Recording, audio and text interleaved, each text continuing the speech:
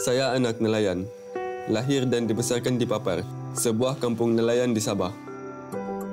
Kalau dah keluarga nelayan, bapa nelayan, atuk nelayan. Kalau tak, saya pun jadi nelayan juga.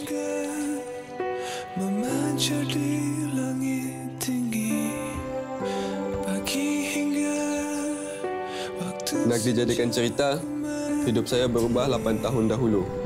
Bila bapa ternampak satu iklan kemasukan untuk latihan juruteknik dari Petronas. Dia suruh saya mohon, mana tahu rezeki kata dia.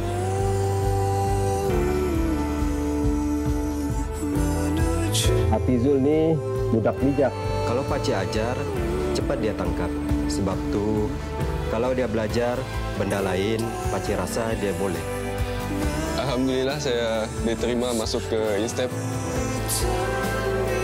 Ramai juga seperti saya, tapi kami terus berusaha. Berkat usaha dan peluang yang diberikan, ramai di kalangan kami telah pun berjaya. Mula dulu, pakcik ingat biar dia ganti pakcik.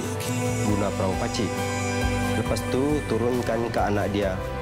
Tapi, itulah hidup nelayan.